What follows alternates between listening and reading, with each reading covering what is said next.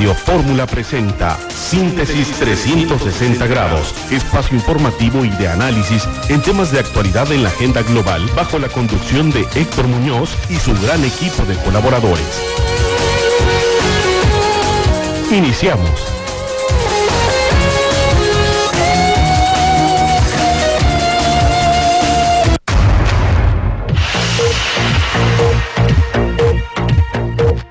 Hola, ¿qué tal? Muy buenos días. Hoy es miércoles 28 de marzo del año 2012. Estamos, yo soy Héctor Muñoz y estamos transmitiendo desde Radio Fórmula de en Culiacán, la capital del estado de Sinaloa. Sintonícenos de lunes a viernes de 8 a 9 de la mañana en síntesis 360 grados por el 1230M y 88.7 FM aquí en Culiacán y en los municipios aledaños. Y en el sur del estado de Mazatlán por el 91.3 FM y 1470M. Me acompaña Fabiola Mesa. Fabiola, buenos días. Hola, ¿qué tal? Muy buenos días. Un saludo a todo nuestro auditorio.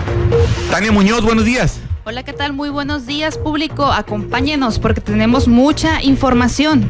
Karina Bañuelos. Hola, ¿qué tal? Buenos días y buen miércoles. Muy bien. Bien, saludamos a Lolita en los controles y por supuesto hasta Mazatlán, a Cecilia y al ingeniero Amezcua.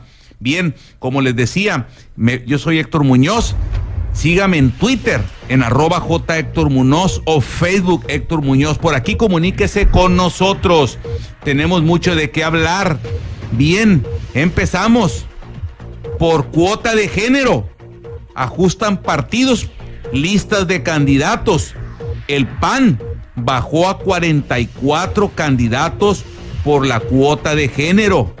Y el PRI bajó, va a bajar a cuatro senadores y a 50 diputados federales. Esto trae muy nervioso a mucha gente. Algunos dicen que se irán al trife, tanto del PAN como del PRI. Peña Nieto iniciará su campaña en Guadalajara. Encuesta Milenio G ISA, que dice Peña Nieto 31%, Josefina Vázquez Mota 20,6% y Andrés Manuel López Obrador 13.4%.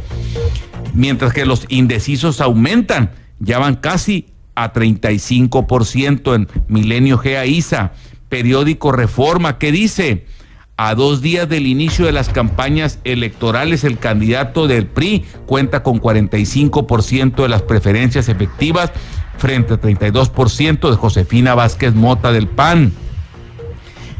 Dice Mitoski que dice que Enrique Peña Nieto lidera la preferencia efectiva al aventajar con 19 puntos a Josefina Vázquez Mota.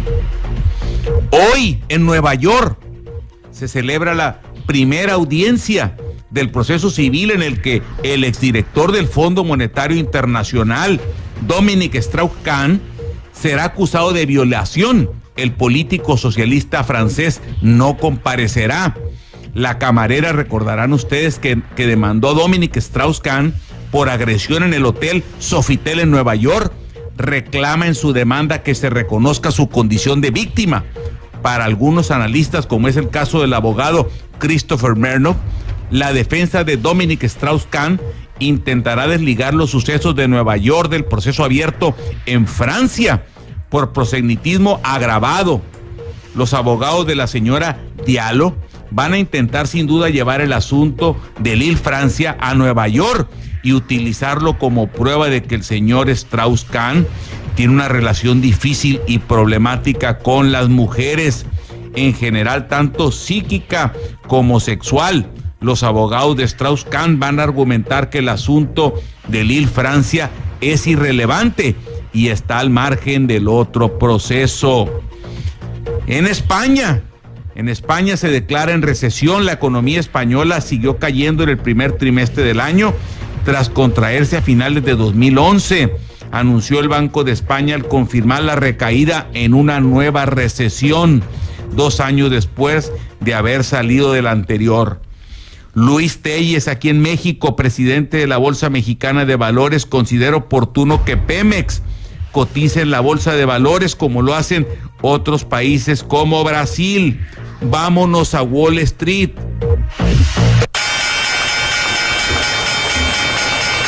El índice Nasdaq en Nueva York cerró ayer en negativo en 0.07%, el índice industrial Dow Jones en negativo 0.25%, Standard Poor's 500 en negativo 0.28%, en México el índice de precios y cotizaciones arriba, fue muy bien ayer a la bolsa 0.24%, en Japón el índice Nikkei arriba 0.78%. En Francia el índice CAC en negativo 1.24%. En España el IBEX cerró en negativo 0.69%. Y el Financial Times de Londres en negativo 0.56%. Vamos con mi compañera Karina Bañuelos con las divisas y la agrobolsa de Chicago. Adelante, Karina. Gracias, doctor. Vamos con la información de divisas. El dólar en ventanilla se compra en 12.28 y se vende en 12.78. El dólar spot se compra en 12.66 y se vende en 12.69. El euro se compra en 16.66 y se vende en 17.15, mientras las UDI se registran en 4.759 unidades. La mezcla mexicana de petróleo se cotiza en 115 dólares por barril. Ahora vamos a la información de la agrobolsa de Chicago a los precios de futuro. El maíz se cotiza en 3.179 pesos por tonelada. El trigo en 3.010 pesos por tonelada. El arroz en 4.261 pesos por tonelada.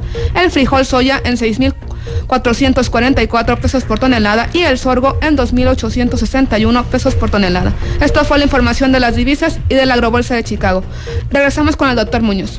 Gracias, Karina Bañuelos. Muchas gracias. Bien, les comentaba yo al principio, bueno, que el, PRI y el, y el PAN pues van a bajar candidatos por disposiciones del IFE.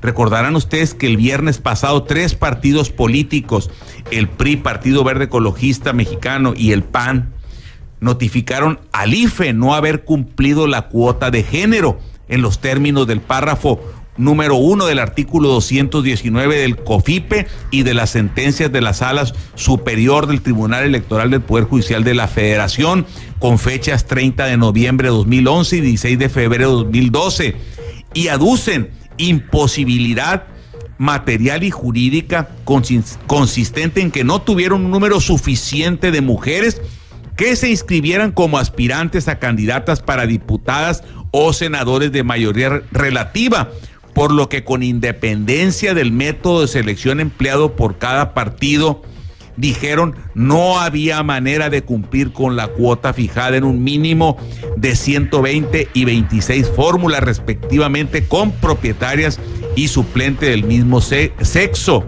Hay que recordar que por ley es obligación de cada partido mantener el mínimo de afiliados para su registro. Y también recordar que el 40% de los candidatos deben de ser mujeres. Bien, pues Antier el IFE dio 48 horas a los partidos para rectificar y cumplir. Y, y si no lo hacen, les darán 24 horas más. Y si, y si persisten en incumplir, hará lo que le llaman la rifa del tigre establecida el 7 de octubre en, el, en un acuerdo en el cual ellos tomarán y harán los nombramientos necesarios para cumplir con esta cuota de género. Bien, pues como les comenté, hoy, el día, el día de hoy, reitero, los partidos políticos bajarán a los hombres y subirán a las mujeres. Bien, hoy es Santoral, Prisco, Castor y Doroteo. Y en los amigos de Facebook. En los amigos de Facebook. Parece que estamos teniendo problemas técnicos aquí con el internet. Bien, no me dieron mis amigos de Facebook aquí. Bien, continuamos. La temperatura para hoy máxima 32, mínima 13 grados centígrados, mayormente soleado. Bien, Vamos con mi compañera Fabiola Mesa con los titulares de los periódicos estatales. Adelante, Fabiola, por favor. Gracias, doctor. Periódico El Debate. Caos para el pago de tenencia. Colapsó el sistema y dejó de atender a cientos de contribuyentes. Sin liquidar, burócratas despedidos. 236 trabajadores esperan respuesta del gobierno del estado. Transportistas exigen mayor participación en obra pública. Piden al gobernador Mario López Valdés intervenga en el problema. Periódico Noroeste. Avala PRI con silencio cuenta pública estatal. A pesar de las observaciones hechas por la Auditoría Superior del Estado a las finanzas del primer semestre del 2011, la bancada del tricolor vota a favor. Niega Zenobio Ruiz que sea sumisión al gobierno. Urgen a modificar ley orgánica para frenar parálisis legislativa. El coordinador de los diputados del Partido Nueva Alianza planteó modificar tanto la estructura administrativa y la organizacional del Poder Legislativo, así como el trabajo en comisiones. Periódico El Sol de Sinaloa. Detectan consumo de drogas entre niños de escolaridad de secundaria. El IMSS Oportunidades de Sinaloa, primer lugar nacional, dice su delegado Raiz García. Insiste Córdoba Celaya para que reos peligrosos sean trasladados. Continuamos con el escenario político de periódico El Debate. Sinaloenses son designados delegados del CEN del PRI en varias ciudades. El presidente nacional del PRI, Pedro Joaquín Colbert, afirma que arrancarán el equipo de campaña fortalecido. Esto fue la información de los periódicos locales y escenario político. Continuamos con más información. Bien, muchas gracias Fabiola. Vamos a ir un corte. Regresamos, tenemos mucha información en los periódicos nacionales, las encuestas y también una declaración del subsecretario de Ingresos, Clodomiro Espinosa García. Regresamos, yo soy Héctor Muñoz. Sígame en Twitter en arroba J Héctor Muñoz o Facebook Héctor Muñoz.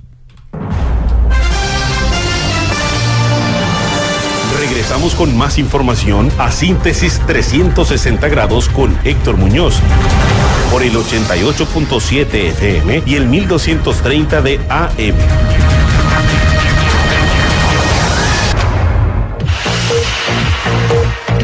Bien, continuamos, continuamos. Estamos, estamos transmitiendo en Radio Fórmula en síntesis 360 grados aquí en Culiacán por el 1230M y 88.7 FM y en Mazatlán por el 91.3 FM y 1470 AM. Yo soy Héctor Muñoz, sígame en Twitter en arroba J Héctor Munoz Facebook. Me acompaña Fabiola Mesa, Tania Muñoz y Karina Bañuelos. Bien, el día de ayer, bueno, estuve en la Ciudad de México y este, eh, pues tuve la oportunidad en el avión de, de platicar con Clodomiro Espinosa García. Él es subsecretario de Ingresos y comenta al respecto sobre la tenencia. Les recuerdo que se va a vencer el plazo y esto es lo que nos comentó.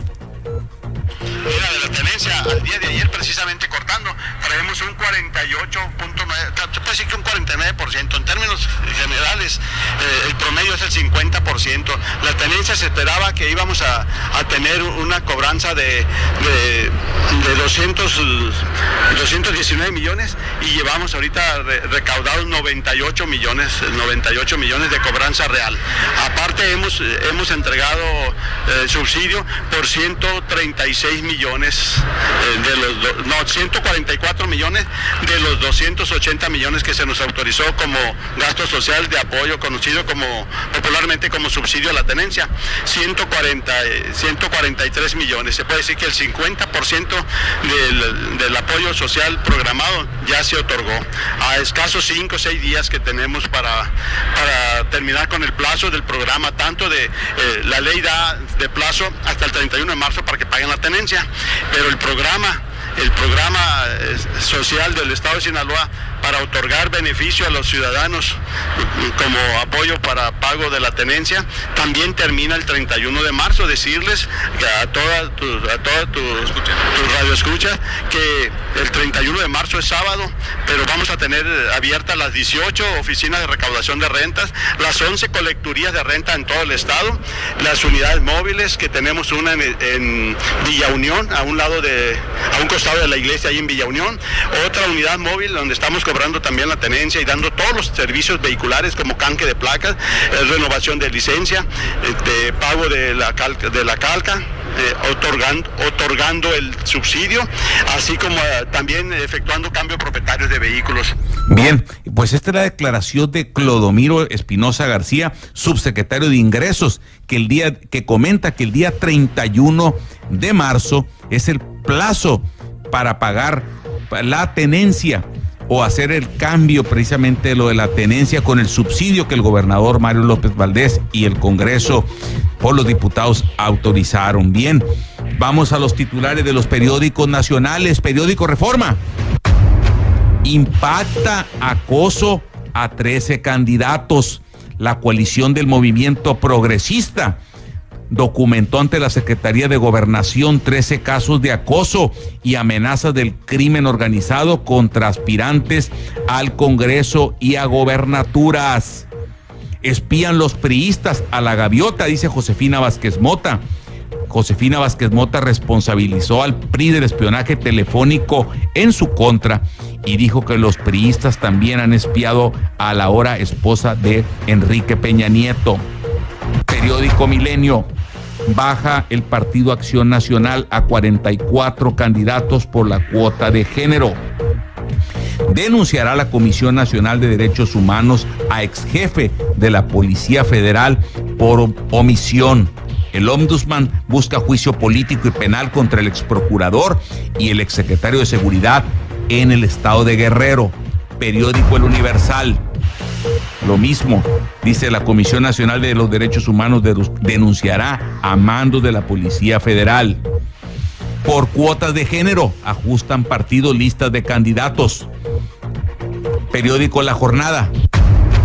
Dice el Pentágono, en Washington, 150 mil muertos por narcoviolencia en México.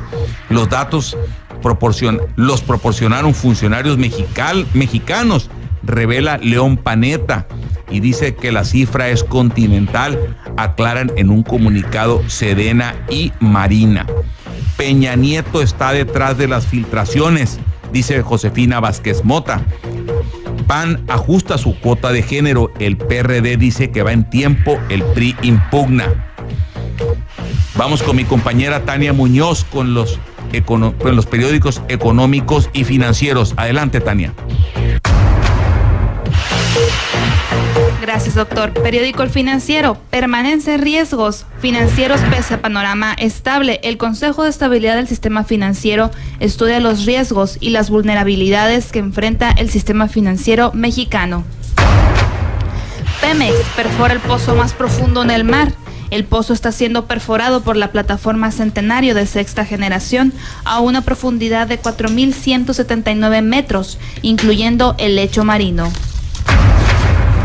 Intercambio económico. México-España sin afectaciones. El secretario de Economía se encuentra de visita en Madrid para abordar los asuntos bilaterales de alto nivel, entre ellos las relaciones económicas. Bolsa Mexicana de Valores impone segundo máximo histórico. Por su parte, en Estados Unidos, el Dow Jones retrocedió 0.33%, mientras que de acuerdo al promedio de Standard Poor's 500, la pérdida fue de 0.28% y en el Nasdaq la disminución fue de 0.07%. Periódico El Economista. Cambios en el acuerdo de complementación económica 55 frenarán inversiones. México observará un freno en las nuevas inversiones de la industria automotriz para los próximos años, luego de, de, que se restringió el mercado de exportación de autos hacia Brasil con la transición del acuerdo de complementación económica 55 firmas de la Bolsa Mexicana de Valores crecen más que en el extranjero. En el 2011, las empresas mexicanas que reportaron negocios en el extranjero a la Bolsa Mexicana de Valores registraron un aumento de 21% en sus ventas fuera del país respecto del año pasado. Esto al pasar de 1.15 a 1.39 billones de pesos, mientras que en sus ventas en México solo crecieron a un ritmo de 15.5% para alcanzar los 3.25 billones de pesos. Morelos, con mayor avance en condiciones para el trabajo, los mercados laborales de Morelos, Puebla, Durango, México, Tlaxcala y San Luis Potosí fueron los que mayores avances registraron de primer semestre del 2010, al igual el periodo del 2011, de acuerdo con el primer informe sobre competitividad social 2011, elaborado por el Programa de las Naciones Unidas para el Desarrollo. Continuamos con los encabezados internacionales. Periódico de New York Times de Estados Unidos. Indignados y estudiantes indocumentados protestan contra Mitt Romney en Los Ángeles. Si Romney no apoya a los latinos, los latinos no lo van a apoyar a él, asegura el líder de la marcha.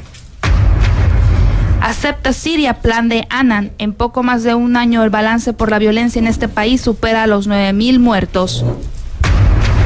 Periódico El País de España, Fidel Castro anuncia que se entrevistará con Benedicto XVI en su última reflexión en la web, en la web oficial de Cuba. El debate histórico del líder cubano explica que decidió solicitar al pontífice unos minutos de su muy ocupado tiempo cuando conoció que por el canciller Bruno Rodríguez, al que el Papa, que el Papa le agradaría este modesto y sencillo contacto. El primer ministro italiano Mario Monti afirmó hoy en Tokio, donde se encuentra de visita oficial hasta el próximo viernes, que la zona del euro ha atravesado una enorme crisis que en su opinión casi ha terminado. Periódico de Wall Street de Estados Unidos, la leyenda del baloncesto, Magic Johnson, lideró el grupo que ganó la subasta para el equipo de béisbol, los Dodgers de Los Ángeles. Periódico The Guardian de Londres inicia primer juicio en Estados Unidos por pederastia en la iglesia. Premios Nobel de la Paz reclaman a Gran Bretaña negociar las Malvinas. Esto fue lo más destacado en el ámbito financiero e internacional. Continuamos con más información con el doctor Héctor Muñoz. Bien, gracias Tania. Bien, bien, antes de ir al corte les comento y de recibir al, al doctor Francisco Córdoba, secretario de Seguridad Pública de aquí del gobierno del estado de Sinaloa. Déjenme comentarles que, bueno, comentamos al principio el tema de las encuestas, mencionamos tres encuestas. La conclusión es que va arriba Peña Nieto, sin embargo, el número de indecisos crece. En algunos arranca con 27% de indefinidos, otros traen el 30%, otros traen el 28%.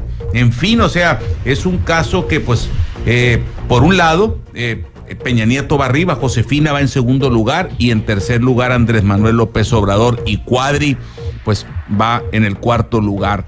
Pero llama la atención, lo reitero, el número de indefinidos es muy alto, sumamente alto. Vamos a ver qué pasa.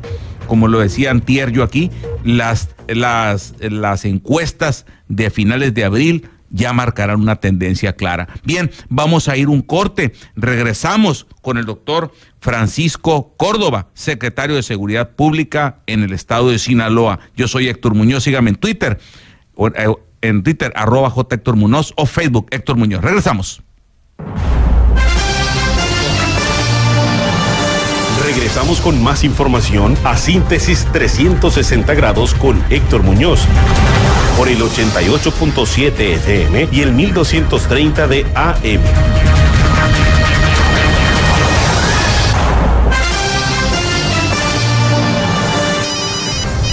Comunícate a Síntesis 360 grados 750 7895.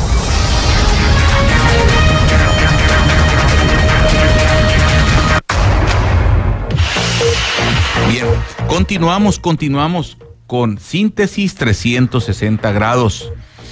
Estamos transmitiendo desde Culiacán y hasta el sur del estado en Mazatlán. Eh, sintonícenos. Me acompaña Fabiola Mesa, Tania Muñoz y Karina Bañuelos. Bien, como les decía hace unos instantes, hoy nos acompaña el doctor Francisco Córdoba. Él es secretario de Seguridad Pública en el estado de Sinaloa. Viene acompañado por su director de, de comunicación social, José Manuel Salas Fernández. Doctor, Buenos días, gracias por estar aquí en Síntesis 360 grados. Muy buenos días, doctor Muñoz, y muy buenos días a Fabiola, a Tania, a Karina y a todos los que nos están escuchando en esta, en esta bonita mañana. Gracias. Eh, doctor, eh, hace algunos días ustedes, el, el gobernador Mario López Valdés, la secretaria de Turismo Oralia Rice, y tú como titular del área de la Secretaría de Seguridad Pública tuvieron una reunión que considero yo muy importante para el Estado, incluso el gobernador en el Tianguis, ahora eh, que es que de, turismo lo comentó, fueron a la ciudad de Miami, donde está pues donde lo de los cruceros. Entonces, cuéntanos por favor qué pasó ahí, este, van a regresar los cruceros que se fueron, de, danos el detalle de la nota, por favor. Sí, muy bien. Eh, mira, hace hace 10 días acompañamos al señor gobernador al, a lo que es eh, la feria más grande de cruceros en el mundo, que se lleva a cabo cada año en Miami, Florida.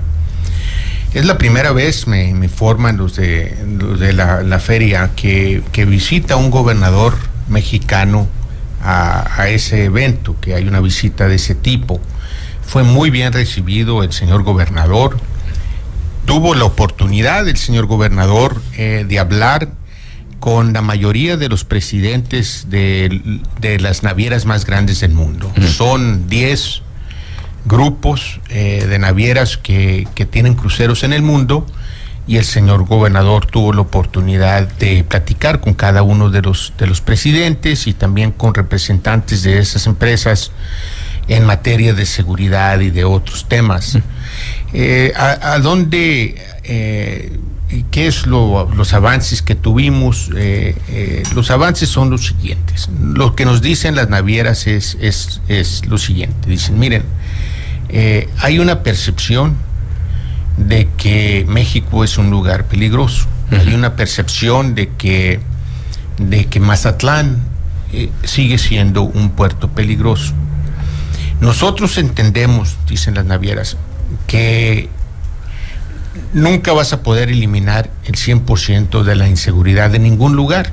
Y ellos usaron como ejemplo el mismo Miami, que es una de las ciudades más violentas de Estados Unidos. Dijeron, pero aquí tenemos que trabajar en dos cosas. Tenemos que tener un programa serio, un programa eficaz que dé resultados en el combate a la delincuencia. Eso es lo primero.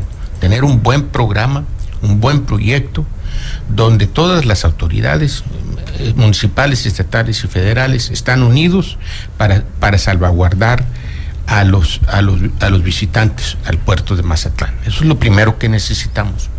Pero lo que segundo necesitamos es que ese, pro, ese programa y ese proyecto y ese plan se lleve a cabo cabalmente y se dé a conocer a los norteamericanos. Es muy importante que demos a conocer ese plan de, ese protocolo de seguridad eh, para blindar en cierta manera a los cruceros. Ellos no quieren llegar a México, tener un incidente de alto impacto que les refleje a ellos directamente como irresponsables. Entonces, ¿qué es lo que ellos están diciendo? Si ustedes nos ayudan a vender el destino como un destino seguro, que lo es, uh -huh. que lo es, si tú ves a los índices delictivos en contra de, de en contra de los visitantes a Mazatlán, pues es una de las ciudades más, más seguras del mundo. Pero, pero ¿por qué esa percepción y cómo andan los índices, doctor? La percepción, la percepción se ha dado porque eh, nosotros manejamos, no somos, los mexicanos somos muy abiertos en lo que decimos y cómo lo decimos. Uh -huh. Entonces, entonces manejamos la nota más, más crítica en, en las páginas principales se da a conocer inmediatamente cuando hay un incidente de algún tipo, aunque sea o no sea en el puerto. ¿eh? Uh -huh. Puede ser a 100 kilómetros del puerto, a 150 del puerto, de, de kilómetros del puerto, pero inmediatamente corre la voz y se da a conocer de que, de que hay este ambiente de inseguridad, hay este ambiente de zozobra, de este ambiente de miedo. Entonces nos dicen los cruceros, mira, tienen que tener un plan de seguridad que funcione, que baje los índices delictivos. Ya lo tenemos, uh -huh. ya estamos trabajando en él. Los índices delictivos van muy, muy a la baja en Mazatlán. ¿Cómo andan los números? ¿Los traes ahí a la mano, doctor? Eh, estamos, no los traigo, uh -huh. pero estamos hablando de que los, los uh, delitos de alto impacto andan entre un 60 y un 70% menos. Menos. Menos, uh -huh. así es. comparados con el año pasado. Eh, comparados con el año pasado. Eh, si ves, eh, homicidio doloso anda en un 72% menos uh -huh. que, hace, que, hace, que hace un año. El, el, robo vehículo muy abajo, robo comercio muy abajo, no han tenido robos bancarios, etcétera, etcétera. ¿No? Entonces, tenemos un protocolo, tenemos que sentarnos con las navieras y decir, a ver, ¿dónde quieres que, que muevamos poquito para darte más tranquilidad a, a, ustedes? Pero dice, llevar a cabo ese protocolo y dar a conocer que el pro protocolo está funcionando, está dando resultados y que, y que Mazatlán es uno de los lugares más seguros. Eso es el, lo primero que nos dicen las navieras y eso es lo que nos pertenece a nosotros en la Secretaría. Lo otro que nos dicen las navieras es, es eh, Mazatlán sigue, ya es un destino un poco cansado. Entonces necesitan los prestadores de servicios de Mazatlán reinventar Mazatlán dar a conocer un nuevo Mazatlán, una nueva cara de Mazatlán, una nueva oferta de Mazatlán. Dice, si, si tenemos esas dos cosas, tenemos el protocolo de seguridad, lo vendemos a, los norteamericanos que son los principales participantes en los cruceros y tenemos un nuevo relanzamiento de la cara de Mazatlán. Esto va a cambiar y vamos a volver. Eh, uno de los cruceros eh, viene, ya regresa en noviembre y, nosotros eh, pensamos que, que, si ese crucero tiene éxito, si vienen, se llena llenan los barcos, no hay incidentes de, de que lamentar, entonces ya vamos a estar viendo a otros navieras, navieras para, para, para, el año próximo. Pero tenemos que hacer esa tarea y tenemos que seguir trabajando de la mano con ellos. Eh, vamos a estar regresando con ellos, con los planes, los protocolos de seguridad y que ellos sean copartícipes en, este, en estos protocolos, que ellos sean los que, que miden los resultados que miden las actividades que estamos llevando a cabo. Y estamos seguros que si, que si nos agarramos de la mano con ellos en, de esa manera, pues, pues muy pronto vamos a tener eh, la mayoría de los cruceros de, regreso. Pues muy bien, Yo, ese es un tema, estamos platicando con el doctor Francisco Córdoba, él es secretario de Seguridad Pública del Gobierno del Estado y estamos hablando del tema de los de los cruceros. Él acompañó al gobernador Mario López Valdés a la ciudad de Miami junto con Oralia Rice, la secretaria de Turismo, y precisamente, bueno, para buscar que los cruceros vuelvan al puerto de Mazatlán. Ahora, doctor, el gobernador, bueno, estuvo en el tianguis turístico y precisamente, bueno, allá también, este, en notas publicadas en, el, en algunos diarios nacionales como Reforma, venía ayer precisamente, pues que como narraba él precisamente esto que está haciendo junto con su equipo de colaboradores como tú que estás aquí presente y que nos estás explicando aquí al auditorio que nos sintoniza en la mayoría de los municipios del estado, el tema de los cruceros. Hay que recordar al auditorio que los cruceros, bueno, son hoteles flotantes que llegan, pero sin embargo, este, la derrama que dejan en el puerto es muy importante. O sea, ¿por qué? Porque se bajan y se van a los restaurantes, compran artesanías, utilizan los taxis, entonces es una derrama muy importante el tema de los cruceros, además de que pues garantiza cuando llega un crucero a una a un estado, pues precisamente está dando el aval de que es un lugar seguro para vacacionar. Este, bien, doctor, no sé si quieras agregar algún tema para pasar con los otros temas aquí que traemos. Eh, no, pues no vamos a dejar el, el eh, suelto el, asunto. El gobierno del estado, el señor gobernador, ha hecho prioridad la recuperación de los cruceros. Eh, se fueron, la decisión que se tomó para que se fueran se tomó en el 2009 por la mayoría de ellos. Entonces ya cuando llegamos nosotros al gobierno, pues ya se habían ido. Entonces bien. hay que recuperarlos. Muy bien. Bien, vamos a ir un corte y ahorita regresamos con la entrevista con el doctor Francisco Córdoba, secretario de Seguridad Pública. Yo soy Héctor Muñoz. Sígame en Twitter en arroba J Héctor Muñoz o Facebook. Regresamos. Regresamos con más información a Síntesis 360 grados con Héctor Muñoz. 4040. Comunícate a Síntesis 360 grados 750-7895.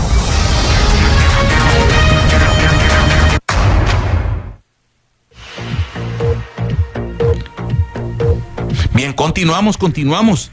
Estamos en Radio Fórmula, en síntesis 360 grados. Sintonícenos por el 1230M y 88.7 FM aquí en Culiacán y por en Mazatlán por el 91.3 FM y 1470M. Yo soy Héctor Muñoz. Estamos en la entrevista con el doctor Francisco Córdoba. Él es secretario de Seguridad Pública en el estado de Sinaloa. Doctor, para cerrar el tema de la entrevista que tiene que ver con los cruceros, nada más me voy a permitir darle unos datos aquí al auditorio.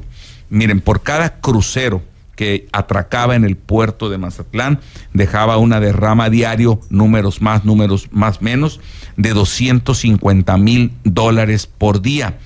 El doctor Francisco Córdoba nos comenta aquí que los cruceros que llegaban en la temporada de otoño, eh, de primavera, otoño-primavera, ¿verdad? Era alrededor de 40 cruceros alrededor de seis meses. Entonces, imagínense 250 mil dólares por cada crucero. Bueno, pues es una cantidad muy importante. Y, y en eso, bueno, están trabajando el gobernador Mario López Valdés, Oralia Rice y también pues el presidente municipal Alejandro Higuera y, es, y, Fran- y el doctor Fran Córdoba. Bien, este doctor, bueno, pues pasamos a otro tema. Este muchachas, hay muchas preguntas aquí adelante. Sí, secretario. eh, Fabiola Mesa, adelante, por favor. Gracias. El tema de seguridad en Semana Santa, ¿qué operativos se van a estar implementando? Bien, mire, tenemos eh, ya bien estructurado y, bien avanzado el programa de Semana Santa que será inaugurado por el señor gobernador pasado mañana en, en Altata, eh, o mejor dicho, el sábado en la mañana en Altata. Será el banda- banderazo de, Semana Santa. Semana Santa para nosotros es del, del- sábado al, al siguiente domingo, ¿no? Al domingo de Pascua. Entonces, eh, ahí tenemos eh, involucrados a más de 8 mil policías municipales, estatales y federales. Eso no incluye el número de marinos y el número de soldados que también van a andar apoyando en esta labor tan importante. Este año estamos haciendo algo muy diferente a los años anteriores. El año ah, pasado nosotros eh, resguardamos los centros turísticos, pero eh, el índice delictivo aumentó mucho en la zona urbana, zona urbana de Culiacán, de Mazatlán y de otras, de otras eh, partes. Entonces este año lo que estamos haciendo es, es dividiendo responsabilidades por sectores. Entonces, eh, las zonas eh, turísticas principales del estado van a ser resguardadas por la estatal, por la federal, el ejército, la marina, y vamos a tratar de, de que no muevamos mucho a las policías est- municipales para que puedan seguir brindando el apoyo de seguridad a los que se queden en la ciudad o cuidando los bienes inmuebles eh, eh, de las personas que sí deciden salir de la ciudad. Entonces estamos cambiando un poquito la estrategia. Aquí ah, buscamos bajar eh, muchísimo más lo que fue el índice delictivo del año pasado, y también lo que fueron los accidentes que tuvimos el año pasado. Tuvimos muchas muertes que lamentar en materia de accidentes el año pasado y tenemos que trabajar muchísimo más agresivos este año para reducir esos índices de, de- de- de muerte por accidente o de daños o lesiones por accidentes. Entonces, también es un enfoque muy importante este año para nosotros eh, salir y, decirle a la gente que trabaje con nosotros, que tengan cuidado y hay toda una serie de medidas que estamos recomendando para que eh, tengan un saldo blanco nuestros visitantes a los lugares turísticos más importantes del estado. Sí, señor secretario, precisamente hablando de estos altos índices de pues de accidentes, este, pues que lamentablemente suceden año tras año en Semana Santa y en otras fechas importantes. Eh, ¿Qué recomendaciones tiene para la ciudadanía para tomar precauciones al momento de salir a carretera, Sí. este, de, de que va a salir uno de la casa y, y tiene que cerrar y dejar? ¿Qué, qué, ¿Qué recomendaciones le tiene usted a la gente?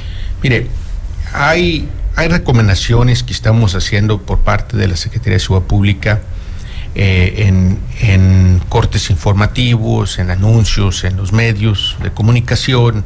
También estamos entregando aproximadamente 100 mil trípticos a visitantes eh, y a turistas, eh, donde les damos un listado de sugerencias que deben de, de considerar antes de salir de casa, eh, durante el viaje y cuando van regresando a casa, ¿no?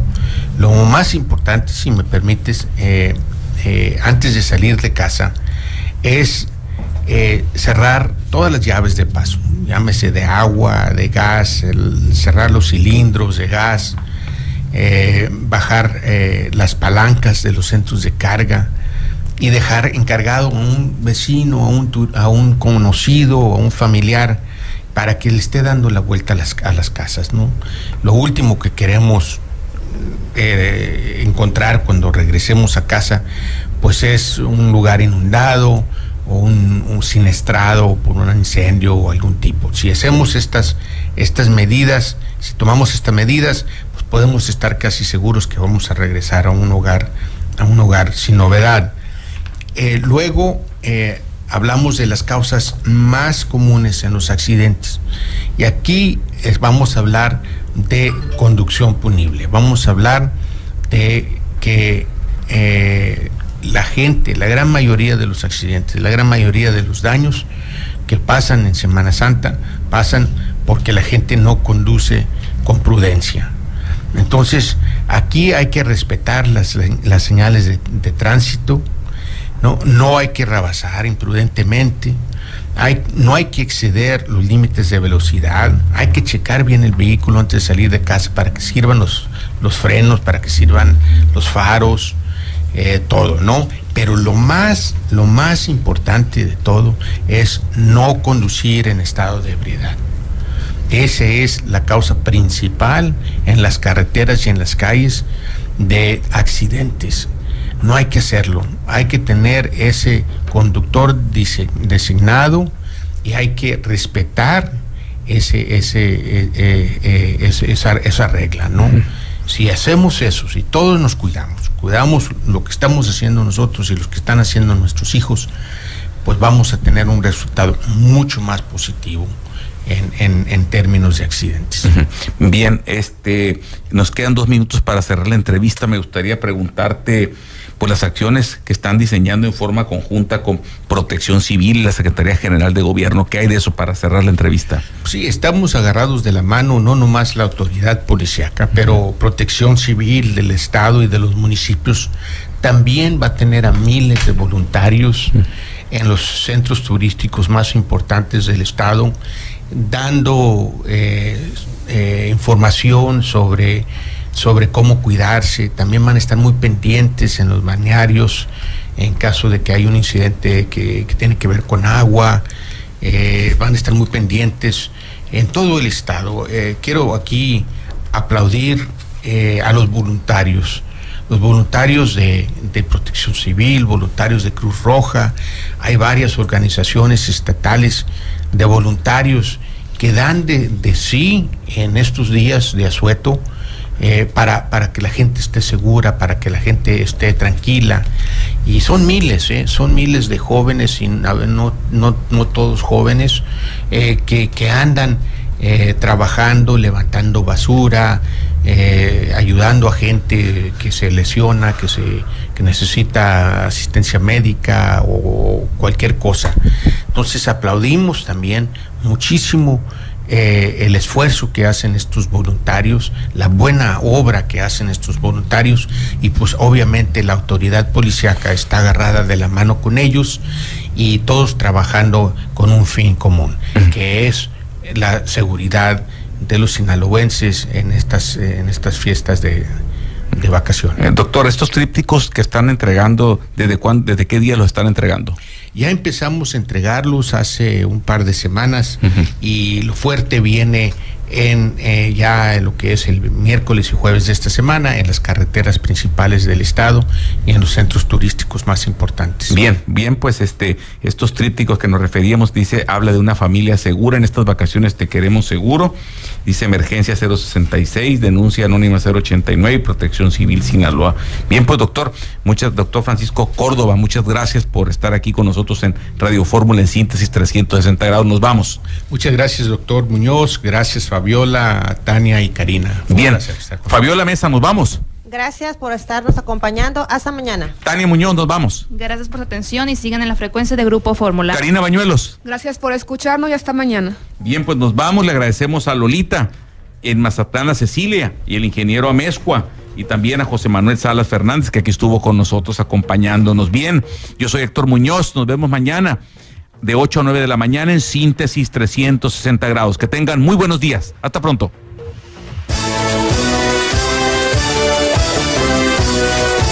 Radio Fórmula presentó las noticias más relevantes del día en síntesis 360 grados. 360 grados. Síntesis Síntesis 300